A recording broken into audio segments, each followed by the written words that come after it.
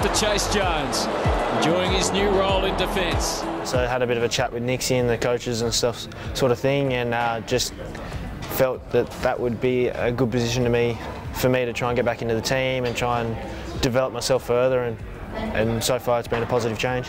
I'd played a couple of games, just uh, a few different roles, a few different teams, and that sort of thing on the way through junior footy, um, but not not for a dedicated amount of time, I wouldn't say. I think it is one of my strengths to be able to do a few different roles and that sort of thing. So, nah, it's, it's a good change up just to get a bit of a feel back and develop a bit more, I guess.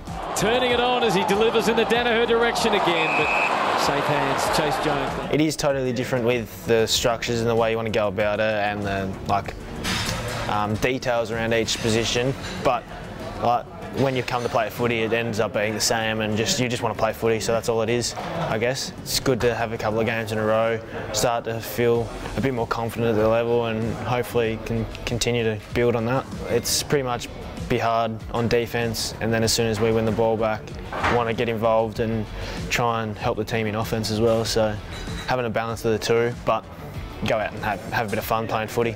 The group back there is amazing, you know, supporting and as, as you said, young and enthusiastic, I guess. So it's good to have a few older heads and to help out with the moments in games and the leadership and that sort of thing. But the team itself is really enthusiastic. Who kicks to a bit of a one-on-one. -on -one. Crows in charge here. Chayce Jones got rid of Higgins.